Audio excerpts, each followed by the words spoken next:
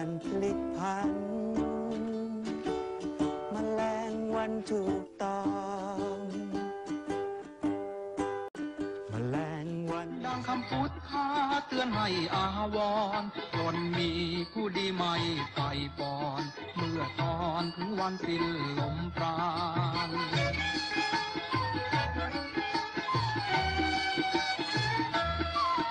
ชายหนุ่มเชื้อสายอินเดียที่หลงไหลในบทเพลงลูกทุ่ง เขาสมัครเป็นทหารประจำกองดุริยางค์ทหารบก หลังจากร้องเพลงในค่ายทหารอยู่พักใหญ่ เขาเริ่มฉายแวว จึงได้รับการผลักดันจากพันเอกนรงกิติขจร ให้เข้าสู่วงการเพลงลูกทุ่งเต็มตัว กับการบันทึกเสียงครั้งแรกในเพลง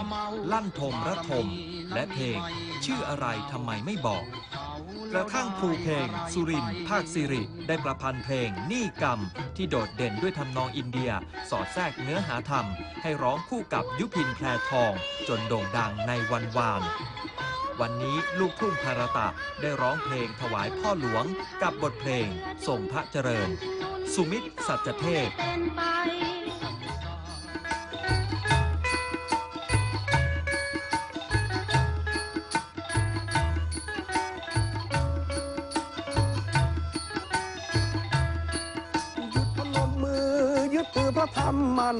เบียดเบียนกัน สวรรค์ไม่คอยท่าหลับตาลงฟังพุทธวาจากิเลสหนาขอจงจางไปทีพุทธังสารนังคัจามิธรรมังสารนังคัจามิสังฆังสารนังคัจามิลาลาลาลาลาลาลา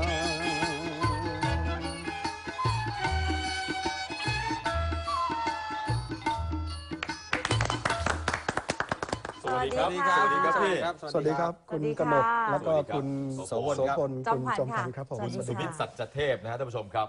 เพลงเมื่อสักครู่นี้คือเพลงนี่กรรมครับนี่กรรม ครับ ตอนที่ร้องนี่เป็นตอนตอนจบของเพลง ตอนจบฮะ เพราะว่าที่ต้องร้องตอนจบเนี่ยเพราะว่าเวลาพูดถึงเพลงเนี้ คนจะถามว่าที่ร้องเป็นเพลงบทสวดใช่ไหมอ่าแล้วจะมีคำว่าพุทธัง แล้วคนจะจำตรงนี้แม่นมากบททางสารนังครักับผม ชามิอ๋อครับผมเลยฮะ กี่ปีแล้วครับพี่เพลงนี้เพลงนี้ประมาณ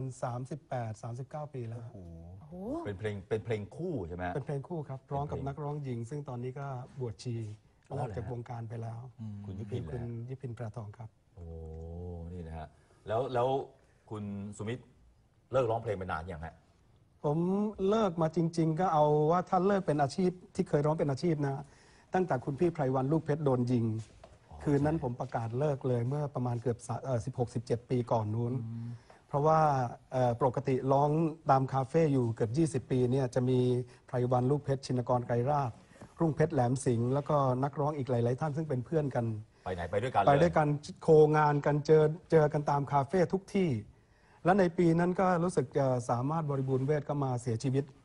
แล้วก็บังเอิญอีกไม่นานไพรวันลูกเพชรโดนยิง ก่อนจะโดนยิงที่ผมอยู่ที่สวนอาหารบางมดคาเฟ่อืมแล้วก็ไพรวันลงปั๊บก่อนจะลงไพรวันบอกว่าเดี๋ยวพบกับคุณสุมิตรสัจเทพอืมพอผมขึ้นร้องเสร็จตอนเช้านั้นผมก็เห็นข่าวพาดหัวหนังสือพิมพ์ไพรวันโดนยิง ก็เลยรู้สึกว่าร้องมาเกือบ 20 ปี แล้วนี่ก็เบื่อแล้ว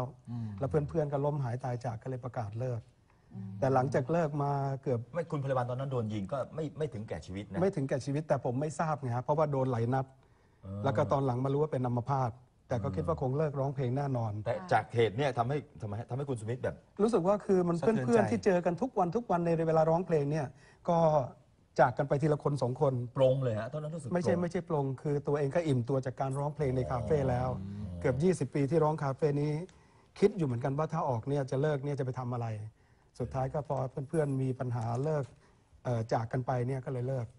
อืมแล้วไปทำอะไรครับก็ทำธุรกิจขายเครื่องสำอาง ตามร้านเสริมสวยกับปัญญา อ๋อฮะแล้วก็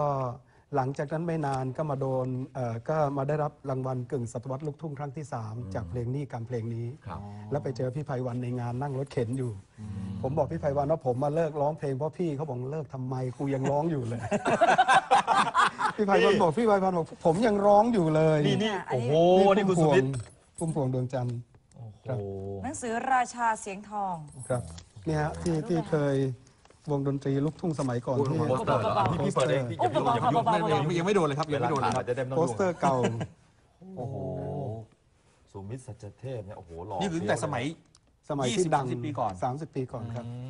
ลูกทุ่งพลตะคนแรกของไทยนะฮะ โอ้โห สุมิตรสัจเทพนำความบันเทิงด้านลูกทุ่งอย่างแปลกตาล้ำหน้าสดใสกว่า นี่ครับ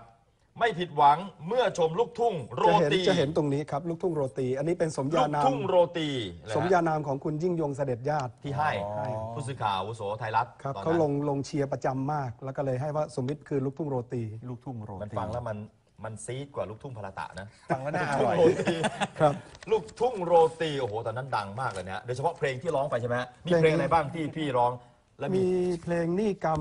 เบรกรักเบรกรถ เบรกแล้วเบรกชื่ออะไรทำไมไม่บอกลั่นทมระทม แล้วก็อีกหลาย ๆ เพลงในภาพยนตร์เพลงรักบ้านนา เพลงในหนังใช่ไหมฮะเพลงในเบรกหนังรักเบรกรถใช่ไหเพลงมนี้ก็เพลงในหนังครับเป็นผมร้องเป็นเสียงของสายันจันทรวิบูลย์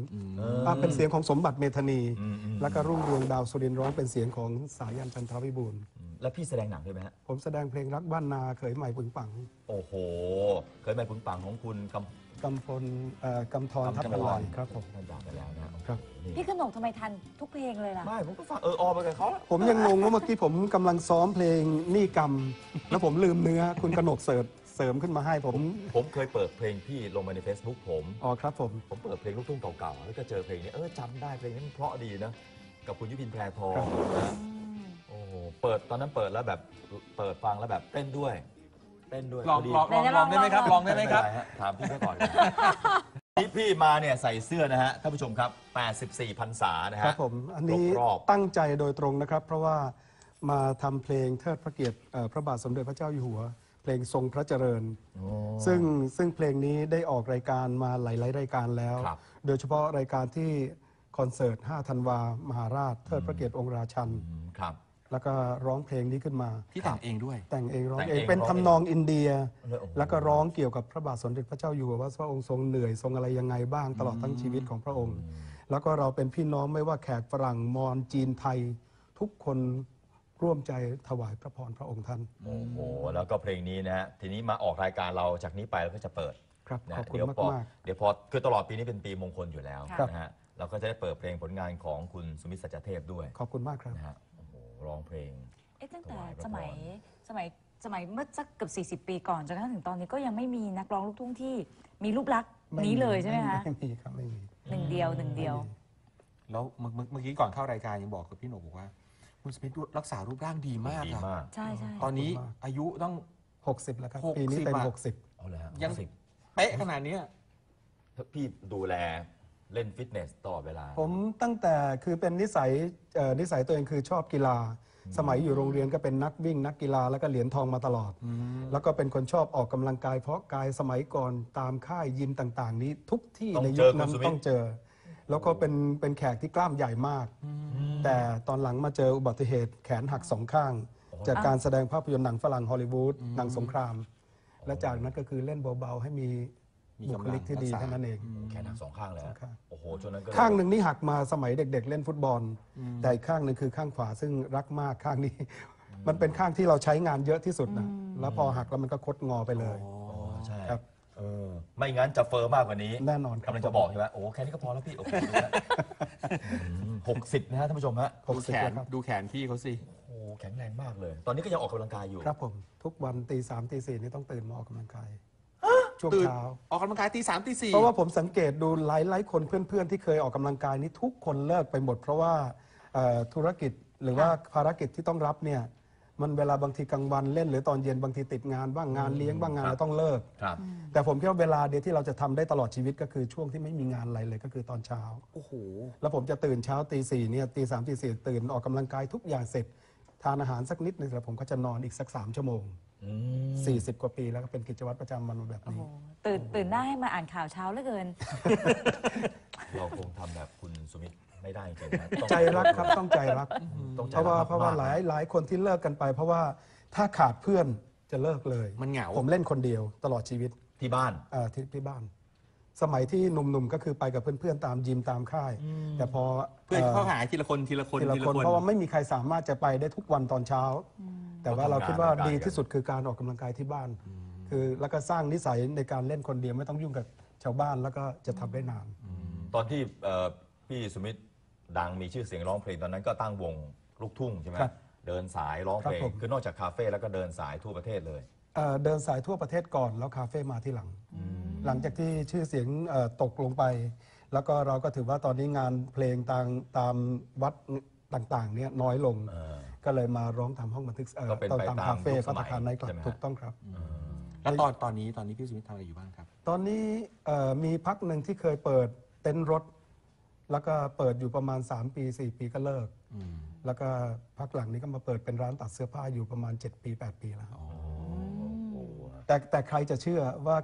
แขกนะฮะครับซึ่งทุกคนบอกว่าทำงานเก่งธุรกิจเก่งหัวการค้า ผมทำมา7ปีเนี่ยพี่เชื่อไหมครับคุณจอมขวัญเชื่อ ค่ะ ไม่เคยขายเสื้อได้แม้แต่หนึ่งตัวกับตัวเอง เพราะขายไม่เป็น อ้าวผมให้ลูกน้องเป็นคนทำงานทั้งหมด ทำไม่ได้ครับทำไม่เป็นผมเป็นคนที่ไม่ชอบการเป็นค้า ผู้บริหาร เป็นผู้บริหารคือลูกชายเปิดร้านให้ และผมแค่ไปไปสนุกสนานกับเพื่อนเพื่อนเอ่อพนักงานแท็กซี่โชเฟอร์แท็กซี่ แล้วก็เพื่อนใน คนที่รู้จักกันน่ะไปเจอที่นั่นไปสังคมไปอะไรสนุกสนาน ค่ะ เดี๋ยวเดี๋ยวแล้วก็พี่พี่มีส่วนร่วมกับร้านนี้ไหมฮะส่วนร่วมคือคือคือคือพี่ไปก็ทำอะไรขายไม่บ้าง เป็นไม่เป็น แล้วลูกชายก็เปิดร้านให้ ครับผม แล้วพี่ทำอะไร ผมก็ไปดูว่าขายอะไรได้บ้างผมก็เก็บเงินกลับบ้านเท่านั้นเองครับ เออชอบจริงอาชีพนี้ มีกี่ร้านครับพี่ ของลูกๆ ลูกสาวลูกเขยอะไรมีเยอะที่ที่เขาเปิดให้พี่อะครับ ก็ทุกร้านก็เป็นทุกร้านของผมหมดพี่แล้วหมดเลยโอ้แต่พี่แต่ขายว่าไม่เป็นเลผมย จะไปอยู่แค่ร้านเดียวร้านเล็ก ๆ ของผมเอ่อเพื่อจะไปทำการค้าตรงนี้ แต่ทำไม่เป็นก็เลยถือว่าเป็นนั่งสนุกสนาน โอ้ ชิวปะ สาววัยแล้วรุ่น มีคนไปซื้อเสื้อผ้าเนี่ยเขารู้ไหมว่าเอ้ยนี่เป็นของร้านของคุณสมิธนะ เฮ้ย ส่วนมากเวลาคุยกับลูกค้าฝรั่งแล้วเราจะแนะนำตัวตรงนี้แล้วฝรั่งจะชอบ เพราะเราจะมีภาพของหนังฮอลลีวูดต่างๆ ที่เราเคยแสดงแปะไว้เลยเนี่ยไม่แปะไม่แปะ ค่อยๆ โชว์ คือคุยให้ฟังแล้วก็มีอัลบั้มอยู่ในสมุดเอ่อรูปก็จะให้ดูครับ ครับ โอ้โหเนี่ยเป็นชีวิตที่น่าอิจฉาเนาะ น่าอิจฉานะเราอยากจะเป็นอย่างนี้บ้างนะเออไปเก็บเงินอะ ไปไปเก็บเงินเอาไปเก็บแล้วก็กลับบ้าน ครั้งครั้งหนึ่งในชีวิตผมจำได้ครับเอ่อพี่สันติเสวตวิมลไทยรัฐนะฮะครับ ผมขอเอ่ยชื่อเพราะว่าก็รักกันมาก แม่ช้อยแม่ช้อย แม่ช้อยนางรำเคยเชียร์ผมลงในชีวิตต้องสู้ในไทยรัฐบ่อยมาก แล้วผมทำเพลงอะไรต่าง ๆ ทีไรเนี่ยจะมีปัญหาโดนหลอกโดนโกงอืม พี่สันติบอกสุมิตรกูไม่เคยเจอแขกคนไหนโง่เท่ามึง แต่กูผมยังจำคำนี้มาตลอดชีวิต เองทำอะไรก็สู้ใครไม่ได้หมดแขกก็มีแต่ฉลาดฉลาดเองนี่โง่โดนหลอกตลอด เป็นคำพูดที่น่าเป็นน่าคำเชื่อพูดถือที่มาให้กคติมากให้คติและน่าน่าเชื่อถือน่ารักด้วยครับ พี่จำยาวเลยจำยาวสันติโง่จริงๆ เอาละฮะวันนี้นะฮะเราก็ฝากผลงานไว้ แล้วก็จะทยอยเปิดให้ฟังนะฮะครับ เพลงนี้ซึ่งเป็นผลงานที่ คุณสมิทธสัจเทพคือร้องเพลงมาโอ้โหหลายสิบปีครับแต่นี่เป็นผลงานที่คุณสมิทธอาจจะพูดได้ว่าภูมิใจที่สุดในชีภูมิวิตใจก็ได้ที่สุดครับนะครับ วันนี้ขอบคุณมากนะครับขอบคุณมากครับ ที่ขอบร่วคุณมงานค่ะขอบคุณมากครับ สวัสดีค่ะ